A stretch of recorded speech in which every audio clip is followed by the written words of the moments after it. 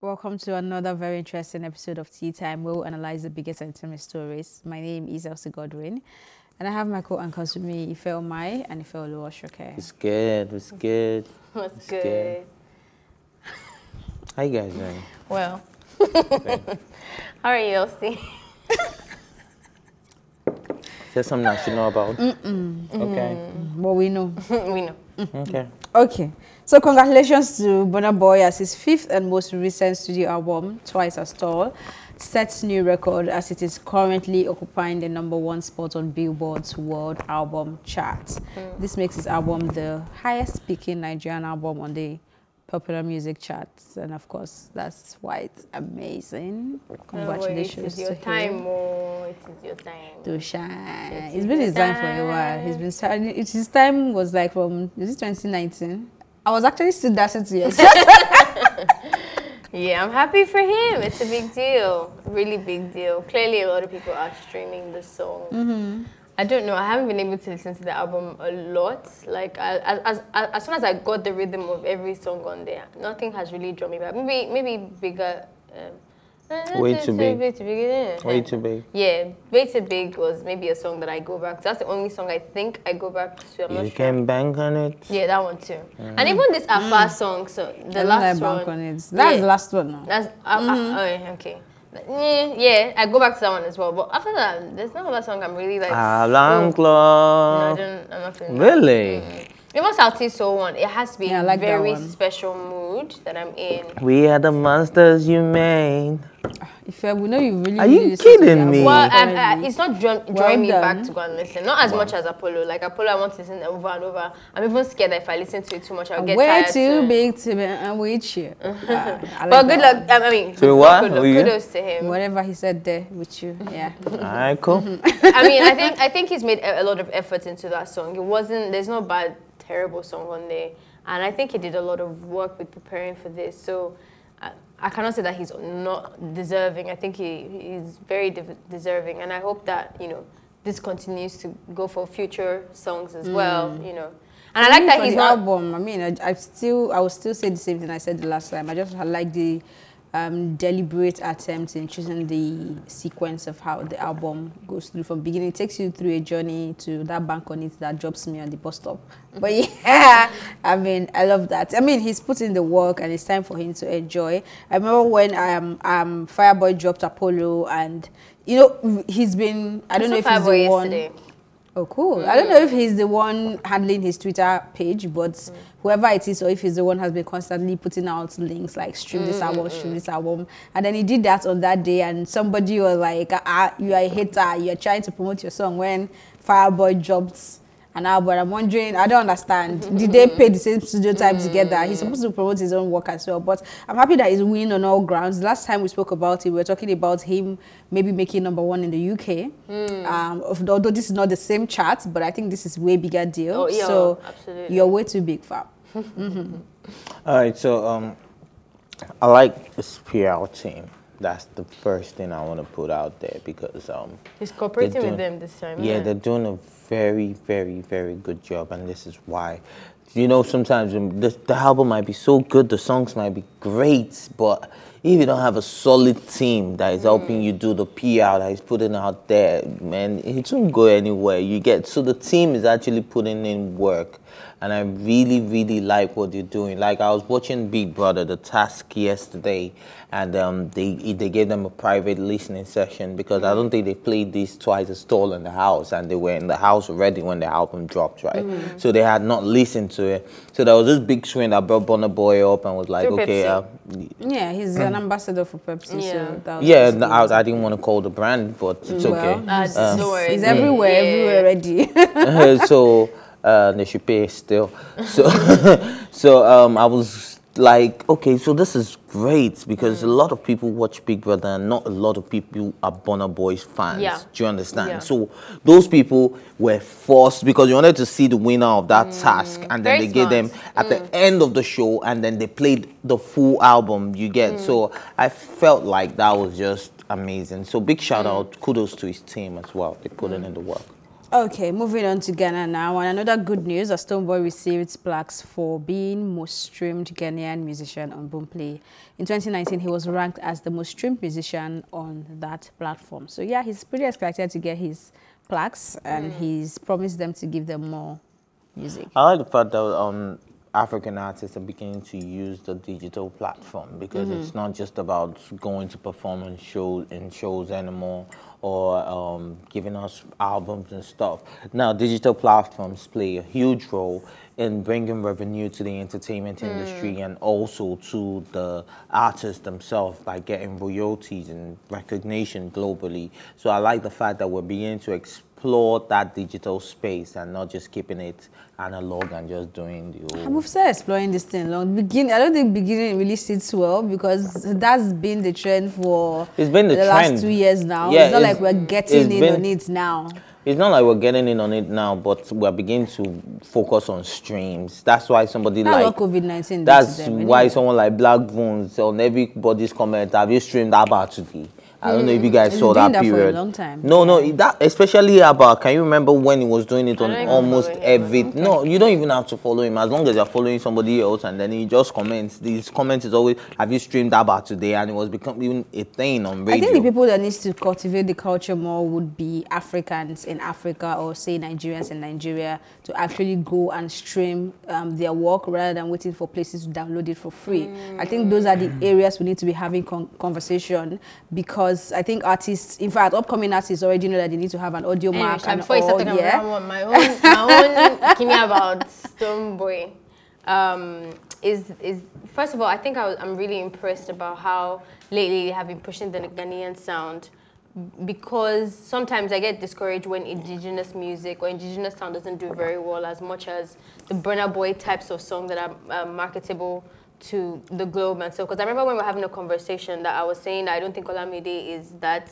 sold outside like and I think he deserves to be part of the people making that type of noise but because it's indigenous, that might be a restriction. So for me, this this um, this um, um, upload that um, Shatta Wale did kind of was like Stonebwoy. Stonebwoy, sorry, was kind of like a um, was the encouragement for me to do that because the songs are quite indigenous in that way. So I'm hoping that that type of music also gets pushed out so that people are not necessarily we don't start to lose our voice because I don't want it to get to a point where we're all trying to strive for like uh, you know international recognition, but in the same way we're we're, we're um, going into the neo-colonization of sounding Western to be able to sell Western. You know, like it would be nice to still be able to get that Western acknowledgement with African sound. So this for me was a big deal, and I like the statement where he said, um, "Thank you to everybody that's listening to Ghana music." Like I like that he's pushing that focus as well. Like he's selling that sound, and I appreciate that. You can go on now about your digitalization. Tea time continues right after this short break.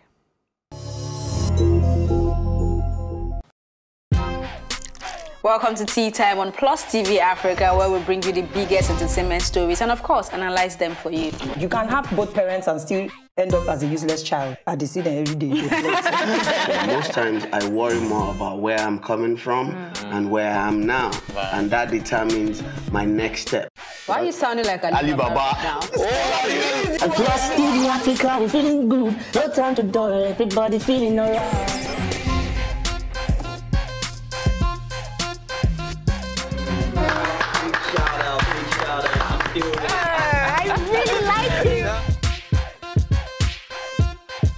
Still make music and people are still buying. Sometimes I look myself minimal eye. Mm. Akpala music is for mature minded people. I got DMs sometimes from Malawi like sleeping early. Sleeping early.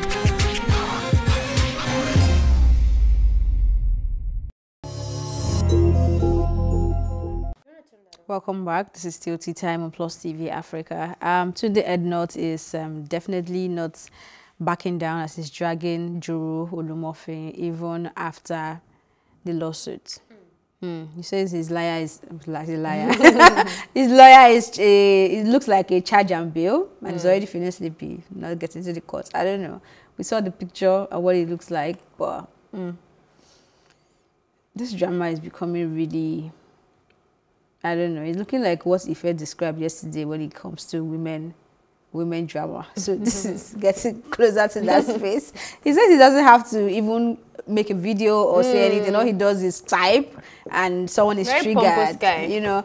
Ah, but- but he's saying the facts now. What he's always triggered on top of Tunde it doesn't matter. Even when everybody says the same thing, once Tunde Ednut says it, he's angry I because it's because even the one Tunde he Ednut's started it, I think he has a personal beef with Tunde Ednos. But not anyway, personal let's beef just between move on. Ednots. Go on. It's like you have a, a, a competing brand. It's like, Hmm. let's use the uh, popular cola brands that we know, the two Hmm. popular cola brands. You see one do an advert and Hmm. the other one will probably do a response to that advert. Yeah. You would know there is a continuation. It's because of your platform. I know that your platform is big enough to Hmm. mess with my brand. So of course I will be triggered by that. Do you Yeah. understand? So it's not about Tunde Ednut or um, what's it called, Joro right now. It's about when you know that these are two. Yeah, but I'm still looking at the peculiarity of their quarrels. Because most of the time, even the last one that is very fresh in the memory regarding um, people insinuating that Joro, uh, the meme actually is a Yeah. meme. It wasn't created by Tunde Ednut. In fact, before Tunde Ednut posted that, I've seen that in other platforms that are big as well. Normal people's stories. It has gone way viral before Tunde Ednut picked it. And really, Tunde Ednut picked it. Our uncle decided to be very angry, and that was how their fight started all over again. So But this is not the say that, that first that's time. also because Tunde probably has the most influence. I don't think so. I think um, it's been on platforms that have like 400,000 um, um, followers as well. Yes, Tunde Are they Dot has like as 2 Tunde? million and so, but compared, why didn't you respond to it when it was, I'm talking of going viral, not just on Tunde Ednut's page now. So when it got on his page, it was a case of, eh, okay, we've seen it, but his loyal fans will still comment because they are looking forward to winning the million that he gives them at the end of the year. Don't forget that that prize is still there, and that's why everybody jumps on their head to comment on his um, um, um, Tunde Ednut's page. So it's not like people had not seen it; they just had to react because that's what he has made his platform do. So I don't know whatever their beef is. I hope they really settle it because I'm it's, I, tired. think- I, I, I, wouldn't I, wouldn't say it's beneath anyone it's above anyone to feel personally attacked if maybe a big brand, especially your competition brand, decides that every time they put you in the light, whatever, whatever. Like I don't think it's I don't think it's unnatural for him to feel some type of Is way. Tunde Ednot and Joro competitors in? Are they in the same space? Well, I guess they see themselves they see themselves as competi- competition. I don't know how, how they choose their They're quite in the same space because their market, um, their target audience is on um, what's it called, social media, Instagram. Then I'm everybody's sure, I'm everybody's pretty sure, competitors if this that's is the me, case. me speculating, but my, my speculation, I'm pretty sure that they, there is something else behind the scenes, away mean? I'm from sure. social media that is causing that tension. Um, Joro said I'm he has very never biased met with this story before. because one, I don't know for sure if his joke or his stance on saying that Joro's stories are fake is even true. Two, I just don't like Tunde Ednut very much. I think it's very disrespectful. So um, I'm a bit biased on the story, but to try and not be as biased, I, I, I, if he's going to take it the legal way, he is allowed to do that. And if Tunde Ednut is going to respond, he's still allowed to. Me, or person, he's still allowed to do that. The, the war has started. Fight it. I'm not expecting. honestly, I'm The not war is expecting- here. Hmm. I don't have to preach love. I'm They've not a preacher of love. They've not. Mm-mm, Continue. in I that think, I think it's very natural for Tunde Ednut to also respond. I mean, if you're going to give somebody a loss, uh, file a lawsuit against someone, of course they're going to respond. If it's that they're going to tear your lawyer down and call him law, sharp fight. We're ready You know, to I, see how I, this, I, this I will end. felt, I felt like um, for Tunde Ednut to be responding right now, I just hope is innocent. I just hope he's not an illegal immigrant. I just hope he has his papers complete. One of the comments on our page actually says that you are defaming Tunde Ednut. Oh, really? Yeah. Oh, okay. I, was thinking about it. Okay, what did you say? There's probably the case of uh, calling him um, illegal immigrant. Maybe he is not. Because remember one of his responses as well, he said maybe he needs to go and Google what the meaning of illegal immigrant is. So why don't you think this is probably an assumption for people to think that Tunde not will be very public And then, like that? then and maybe, The way he then maybe even- the- Tunde the- will be very correct about that lawyer saying he's a charge and bill lawyer for jumping on that No, TV. I think I think what illegal happens is that with immigration, it is very tricky. And there's some people that are not necessarily legal immigrants and are not straightforward Illegal. illegal, immigrants, and you are in the middle. I suspect with all my heart That that, Tunde he is, um, in the middle because if Tunde was not, if Tunde was a proper full-on resident, he won't be saying go and Google what's immigrant, whatever. Like Yeah. you're wasting time, since, especially Tunde. He will have said something like that. So I don't think his um, status is uh, um, necessarily clear. Like he's probably some refugee. It's probably like that. Is Oh, God. now his village people are Tunde, convoy. our I don't know what it, I don't know what it is that he has done, but I think that his documentation is a bit It's ongoing. or no, no, maybe not, not as straightforward, Mm-hmm. um, and maybe that's what those lawyers are backing um, banking off of, and but probably also don't have full details of what that looks like. So let them fight, Sha. Let's see how it ends. That's I my- mean, it's fun So to as not to It is. defame Tunde, immigrants stand with you. Okay, moving on to the next story. It is pure laziness to not know the word of God for yourself if you're a Christian. My pastor say, my pastor say. God gave us all gifts, and that includes a functioning brain. How do you spend your thinking for another's words? Um, how do you suspend your thinking for another's words? The Lord knows those who are His. Don't get me wrong, not all who call Him Lord are His. Check your spirits, and this is coming from Kate too many Henshaw. train of thoughts in one message. Too many, way too 240 many. characters. Ah, ah, fam, too many. she's smart like that. She knows the word of God. Yeah, so she's spirit filled. Um, I don't know, man. People are very confused, very, very confusing. So I don't know. That's what I can get from it. Because one minute it's that you need to go to church and that you need to, you know, follow the leaders and ex- for, um, no, she's not saying don't go to church. She's not saying don't follow the leader. She's just saying do it with your your head working properly. But is, is there anything wrong with actually saying that I learned from my pastor that, and he said A, B, C, and D? when you Considering say the fact no, that they're just saying I that think- many are called but few are right. chosen. I think when I mean this is me saying what I think I got from what she tweeted. When she's saying my pastor said, my pastor said, there are conversations we have with people that are supposed to be Christians, and um, I don't want to sound like I'm the right one now, but then you know what they're saying is clearly wrong. It's based on humanity and how you treat people. And then when they want to mm. defend themselves, they're not defending themselves or what they're saying based on what they have read or their conviction or the experience of God. What they will hear, what they will say is, "My pastor said this is what my pastor said. I'm standing by it. My pastor said it is like this, and that is how it is." So having a conversation with such people can be really draining. Hmm. And I am guessing that those are people she's referring to. Is I don't think she's saying don't go to church or don't um, listen to your pastor don't engage your pastor. Okay, and so so she because she is chosen and she knows that she's chosen. Her own her own understanding is a lot She's better chosen. than. I mean, now is that what you're saying that she's chosen and not everybody who says they're chosen is chosen, isn't it? Uh, okay, I didn't see that part. For the people who they not everybody who says is his is his. Isn't that what she was saying? The Lord knows who are his, and not everybody That's, who that's says like a verse from the Bible. But it's still part of her explanation, isn't it? Isn't it part of the story that because so I think it's her basically trying to the say pastors that are they are. not- Of course, we know that they are fake pastors. that one is not a Eh, new so, story. eh, so that's why I started with many are called but few are chosen. Yeah. and that's what So- I'm asking. Who, so she's basically saying that she's chosen, Abi. she's not no, she's not about saying that she's Okay. chosen. She's just saying that you, you need to know that there's some that are called, but they're Right. not chosen. So when they, I mean, there, there's um, there's some that feel like they, They are are the called, ones, yes, but they are not the chosen Right. ones. So when they actually, And they are the ones that know that they are not the chosen ones, but they are using Okpolo yeah, and brain to yeah. be. So at the end of the day, I think she's just telling you that she's had no make matter- they're the chosen one.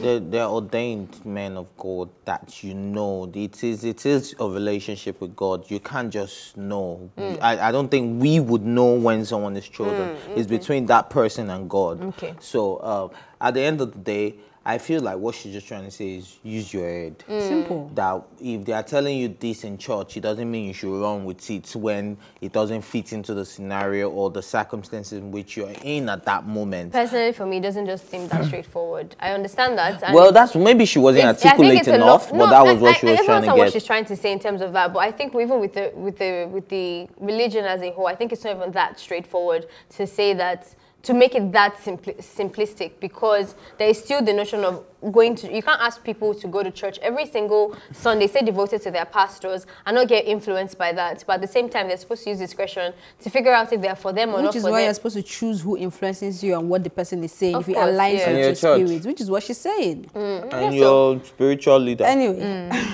moving on to the next story. I mean, Genevieve Nnaji doesn't talk much, but I guess this time she's talking, and um, I'm also yet to see the platform that she had this interview with. But she says, or they say she said, quote, if I get married, I really want to stay married, and staying married is not an easy thing. It means you are completely in tune with your partner. It means you have found your soulmate and will have to be able to stand a lot of disappointments that would definitely come. But then again, you have to learn how to forgive. She said a lot more too. I'm very surprised actually. you seen the that she was video? I just saw screenshots of Yeah. the thing. I don't know how legit the story because it feels like I don't know how legit that out of character because she she talked a lot. I mean, it's surprising. really talk that much, especially about things like this. It was also very stupid because the blog I, I saw, they used pictures of Beyonce, of her and D'banj together. So I was just like, mm, I don't know how I doubt, this- I doubt, I doubt this came from her. But then, what she's saying though, what they said she said, what do you think about Mm. It it? makes sense. I Yeah. think there's there is it's definitely a reality for a lot of people. I saw a comment yesterday on on on um, I think comment one page, Sha, and I wanted to just screenshot this this this girl's comment and pin it somewhere where she said she replied somebody who was bashing another lady, and she replied and said, "P- I think you're underestimating underestimating how much of luck comes with love, Hmm. and I hmm. think that's what I would say with this story as hmm. well. Oh, Wale. Hmm. As in, I, my home was We need to quite go, but deep, yeah. yeah. But I think that's what, that's what it is with this with, Yeah. with this person. That a lot of it is luck, simple. If you understand that, then You want to add something? I just want to say that, man, whatever works for you. If you feel like marriage is not your thing, you don't have to be. If you feel like you need the long term commitment and you haven't found that person, it's okay to stay single. Don't let nobody pressure you. Love is a lot of luck. Yeah, deep, and that's what I'm taking away. I don't know what you've taken away from our conversation today, but No, don't that's es- how. underestimate the power of luck that comes with love. Ah, okay, mm. don't underestimate the power of luck that comes with luck. Love. Mm-hmm. Please send your opinions via WhatsApp to 0906005719 or Twitter us at Plus TV Africa. My thank you as always to go to my co-anchors Ife Omai and Ifeoluwa Osunkeye and the entire production team. Thank you for watching Plus TV Africa Stay Time. My name is Elsie Godwin. Do stay safe.